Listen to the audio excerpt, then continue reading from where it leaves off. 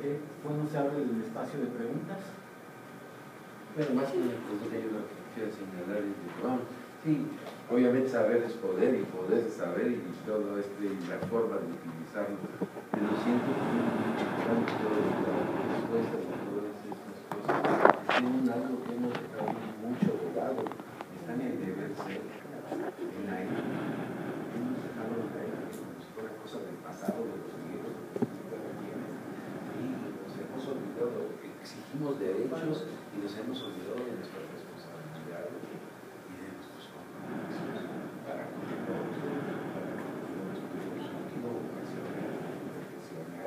y de los efectos que tenemos en un mundo globalizado en donde si echamos al globo va a estallar todo el globo, nos vamos a regularizar todos.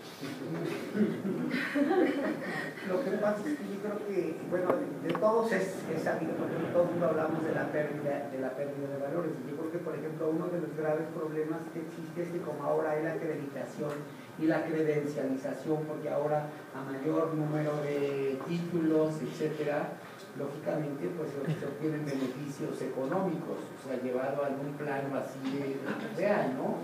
Entonces, ¿eso a qué ha llevado? A que mucha gente, o sea, la verdad, o sea, y de nadie sabido de los títulos falsos, etcétera, porque es porque con miras a tener un reconocimiento. La gente no se detiene y olvida eso que usted señala, olvida la ética, olvida la honestidad, olvida todos los principios, y muchas veces el mismo docente, nosotros mismos, cuando nos conviene, echamos mano de los valores, pero cuando los valores nos estorban, nos tiramos al bote de la basura y me convierto en el diablo más diablo. ¿Y cuáles valores? ¿Dónde existe eso? Mire a los profesores de secundaria secuestrados por el bullying. Desde el primario. Y bueno, nosotros también, ¿no? Claro, Sí, o sea, nosotros hablamos de formación y a veces en lugar de formar, deformamos. Exactamente. Pero-. Sí, yo estoy de acuerdo con lo que usted dice, que efectivamente la ética es fundamental, pero no debemos, me llamó mucho la atención, crear recursos humanos, entonces me fui al objeto, no al sujeto. Entonces, eh, eh, el humanismo siempre debe de estar presente en la educación, porque esa es parte de nuestra función social, ¿no? Entonces debe de, de- de siempre ser así. Ahora lo que importa es cuán- cuánto has estudiado, es lo que vales, porque es la realidad del mundo global, ¿no? Pero, pero sí, el, el humanismo siempre debe de estar presente, sobre todo en el caso de nosotros, que trabajamos con jóvenes de secundaria, que vamos a eso y que lo único que quieren ellos es ser escuchados, ¿no? O sea, por eso bullying, por esas situaciones, pero lo que quieren es eso, ser escuchados, sentirse parte. Bueno, nosotros tenemos experiencias en las que en lugar de decirnos maestros o profesores, pues nos dicen mamás. Así de. Exacto. Yo lo que veo es que también eh, se piensa en las tecnologías como elementos y herramientas novedosas y bla, bla, bla, pero también hay que pensar que estas nuevas tecnologías, esta globalización, pues también nos ha dejado alumnos diferentes, no ¿Qué, qué procesos, qué nuevas formas de aprender ellos ya traen incorporadas por, por haber crecido con estas tecnologías y que de algún modo como personas pues, mayores no, no, no, no es fácil entender estos pero tampoco, perdón, pero tampoco se ha evaluado el impacto que han tenido, porque el ser humano es un ser social ante todo y se ha perdido esa visión, porque las tecnologías, si bien son herramientas muy útiles, el exceso de esta herramienta también tiene efectos perversos. ¿En qué, me aíslo? Si ustedes se fijan, algo, voy a comentar algo muy, ra- muy rápido, por ejemplo, si ustedes se fijan en los, en los restaurantes, ¿qué pasa? Está el papá, la mamá y los hijos y todos con el celular. Aparentemente están juntos y no es cierto, están aislados.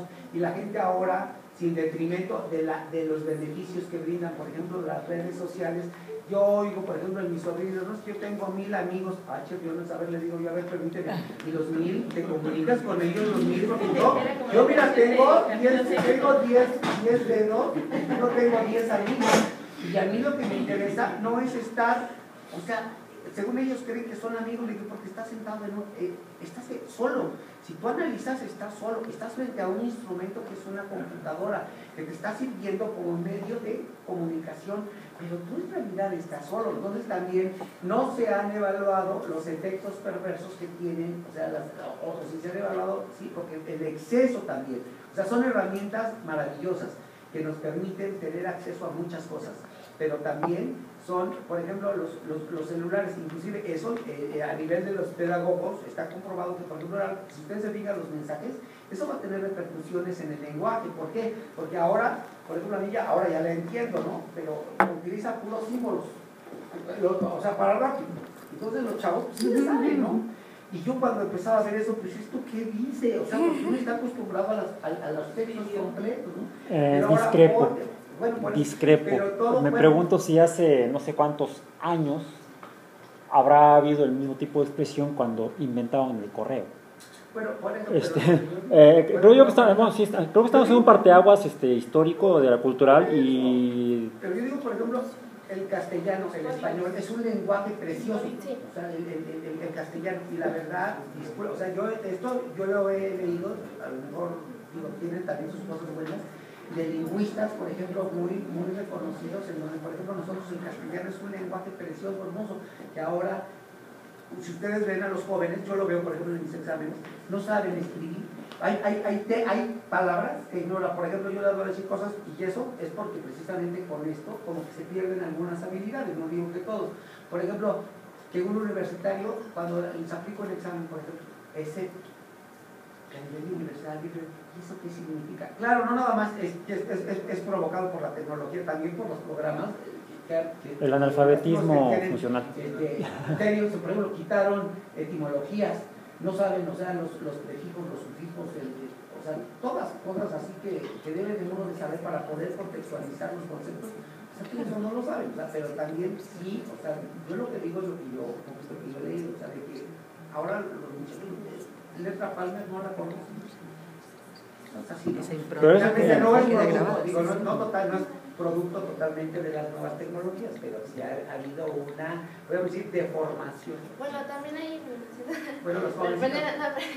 eh, bueno, me estoy formando como maestra de español y es importante ver lo que la Real Academia Española está haciendo. Por ejemplo, ahora para las preguntas se usaban los signos de interrogación. Ahora solamente con que le pongas el acento a la E, ¿en qué? Ya, es una pregunta. Entonces, ¿qué degeneración del lenguaje se está haciendo? Y más por Twitter, que 140 caracteres y hazle como quieras, pero en 150 caracteres pongo que todo el día me fue como... ¿No? Entonces, es impresionante. ¿Alguien de aquí, ¿alguien de aquí es sabe taquigrafía? todo eso. ¿Alguien de aquí sabe taquigrafía? Es que ya, ya existía. Y, y, y mi, mi suegro tiene un recetario completo en taquigrafía. Y nadie más que ella le entiende. Por eso, pero esa era una técnica específica. La- para la Es taquigrafía. Aquí el problema es que No, conozco varios taquígrafos, no solamente a mi suegra, conozco varios taquígrafos y, y- y me lo han dicho y lo he visto, me lo han mostrado. Mucha, aunque hay un, hay un alfabeto genérico de, de, de de taquigrafía, muchos textos solamente los podía este, eh, leer o transcribir eh, de manera fiel el taquígrafo que los había escrito. Incluso eh, el, el sistema legal norteamericano, el sistema judicial norteamericano en, lo- en los juicios, es oral desde... Y por eso un papel fundamental en los, en lo- en los juicios es el papel del taquígrafo. En la década de los 20, cuando aquello allá en Chicago sucedió, lo que hacían a veces los eh, mafiosos es que a quien mataban era al, al- taquígrafo y se perdían las notas y el juicio no podía seguir, se tenía que, se tenía que hacer un nuevo juicio. Entonces, yo creo que estamos siendo impactados por una colisión cultural multifactorial que no se había dado, tan- no se había dado de esta manera antes en tan poco tiempo y tan globalmente. Entonces creo que mucho lo que, lo que opinamos, y perdón, puedo estar pecando de, lo mismo, lo decimos por prejuicio cultural y hasta generacional. ¿Requiere ser estudiado? Sí, pero además con una visión transdisciplinaria, ni siquiera interdisciplinaria. Se requiere de, de- de- de- sociólogos, de psicólogos, de, todo, pero hablando, mezclando las disciplinas, no, mi visión desde la historia, espérate, no, es la visión completa, ¿no? Una, una noción